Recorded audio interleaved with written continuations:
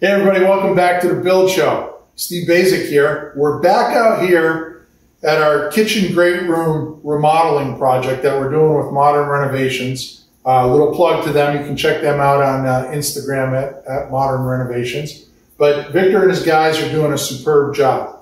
And uh, one of the real interesting things about this project is if this was two weeks ago, you wouldn't have been able to see me. And why is that? In a lot of remodeling projects here in New England, we end up doing things like taking out fireplaces, removing things, and one of the other big things we do is relocate stairways. So you can see here, this has all been framed in, but this used to be the old stair. So there were walls here that went up to the flat ceiling that separated the living room from the kitchen. And this was a huge barrier, basically leaving you these kind of two tunnel oriented rooms with really the only access to get in here was a small little passageway on this side. The stairs went down here to the basement. They were narrow, your typical New England. You know, my shoulders would rub on both sides of the walls as I went down. They were steep, not very comfortable, unsafe, you name it. You, you could throw all those metrics at it for reasons to remodel. But in, in remodeling here, we knew we wanted to get rid of the wall, so we had to find a new home for the stairs. and that allowed us to take out this wall and basically have this great room and kitchen now communicate with each other. And as an enhanced feature, we're doing a, basically a glass wall back here with three new sliders out to the back, new deck, new patio, etc., which will also enhance the fact that you know, we're, we're redoing this kitchen and redoing this great room. So we get rid of the stairs here. We're going to have a nice big island. Um, you can check out my other video where we talked about the volume ceiling in the kitchen here. And, uh, but this one here, this one's about the stairs. So we took these stairs, the walls out. We took the stairs out from the basement. We reframed this floor, cleaned it up, sistered the joist. You can see we got the uh, Huber AdvanTech down there. We're filling it in. We have some places here. We're going to get our flooring guy here. He's going to tooth it all in, match it all up. It's going to work perfect. And then, because we had this nice long living room, one of the uh, places or options that we looked at putting the new stair was at the end of the room here. So you can see that was obviously the, the choice because we now have those stairs in. So we have that new opening cut in. We're going to have a series of columns here, a nice guardrail so that when you're in this room, you still get the perception of the, the space going all the way back to that wall, not stopping here, but we obviously have the safety of that guardrail.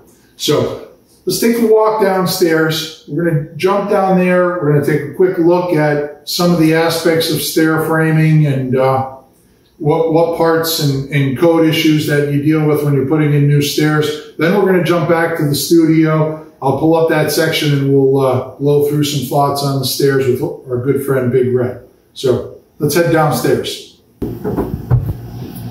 Hey everybody. So we're downstairs. We have that great room, kitchen renovation going upstairs on upstairs there. But like any project, when we're renovating, taking out walls, putting in big beams, it means we're probably doing something in the basement. Now, we knew we were talking about relocating the stairs, and you can see here, if you flip around, but here's the old framing for the old stairway here. Basically, we just filled that all in, stiffened that up, and here's those new stairs that we cut in.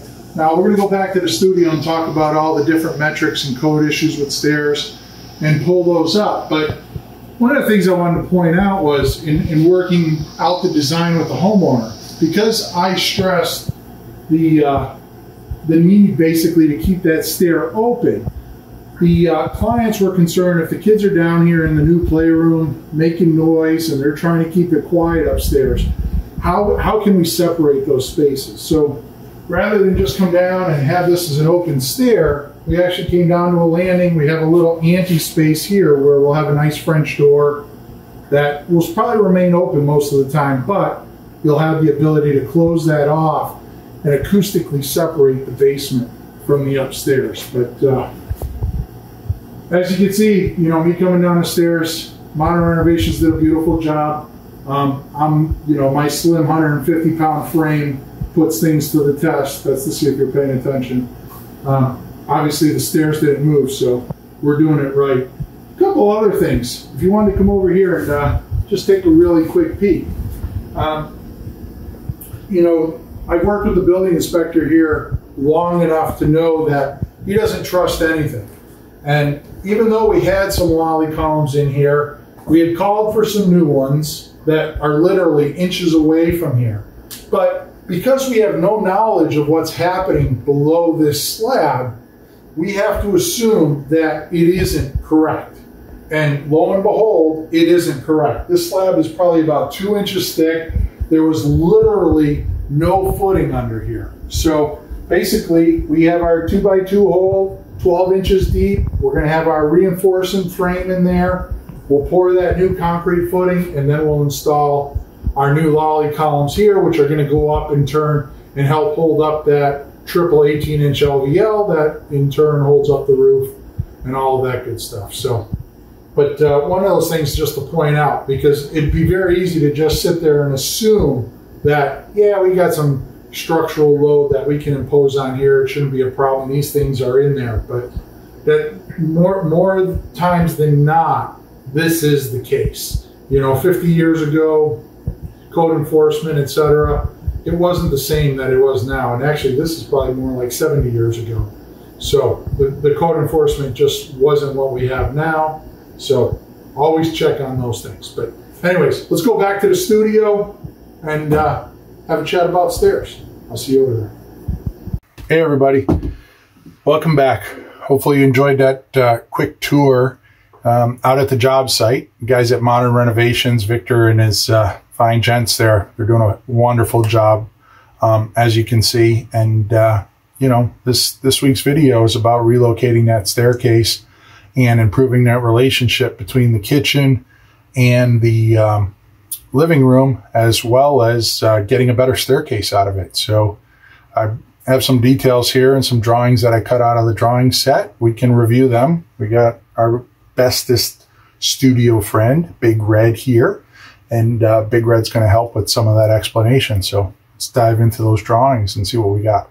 All right, everybody. So printing out uh, a couple images here from the drawing set. This first one here is what I call a coordination plan you can see the uh, existing plan is the series of black lines, and then the red lines are the new work superimposed so that we get an understanding of both situations and how they coordinate. So, you know, out on the job site, we talked about how we relocated this stair.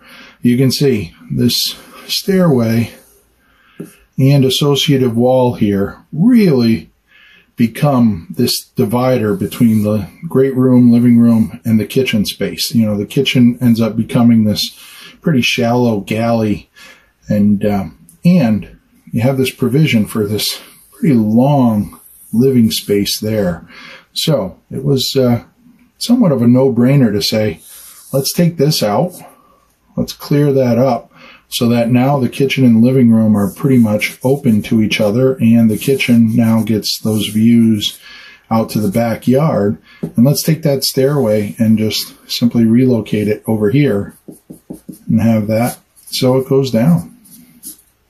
And then how do we do that? Obviously we could have just done that as a solid wall, put a door here, but we didn't want to do that. We wanted to keep this, that nice open feel. So we actually introduced a couple columns there, and then we'll have a contemporary cable system here that uh, divides those two spaces and leaves this open. And actually, it, you saw in the basement, it turns the corner down there, and there's a door downstairs. So if we want to acoustically separate the downstairs playroom with the upstairs living room, you can close that door down in the basement. But let's take a quick peek at this in section. So you can see here, there's that new stairway laid out. See. So the stair goes down. The last tread is actually a landing because that landing comes out and returns and you step down into the room there. Um, or step into the room, step down into a little ante hallway that takes you into the room. But stairs are, uh, you know, can be kind of tricky. This one here actually laid out pretty nice, but there's a whole bunch of things to, uh, you know, coordinate and parameters when it comes to laying out a set of stairs. So in this one here, you can see we have this um, existing beam that runs down through the basement. So we knew we wanted to miss that. So we basically put the stairs in front of that. Um, in Massachusetts, we have a minimum nine inch tread and eight inch riser, which, you know, it, it works, but I like to strive for more of a, a uh, 10 inch tread, um, or push it a little further and then get that uh, riser closer to seven, seven and a half inches. And you can see here it's actually seven and five sixteenths, basically seven and a quarter inches. So that'll give a nice, comfortable stair as we go down. Um, so that that rise and run, and like I said, it, it sits down on that platform. The uh, the minimum clearance on a, a finished clearance on a stair here in Massachusetts is three feet. We have actually three foot three, so we're good to go there. And the uh, stairway going up, I believe, is three foot four inches wide.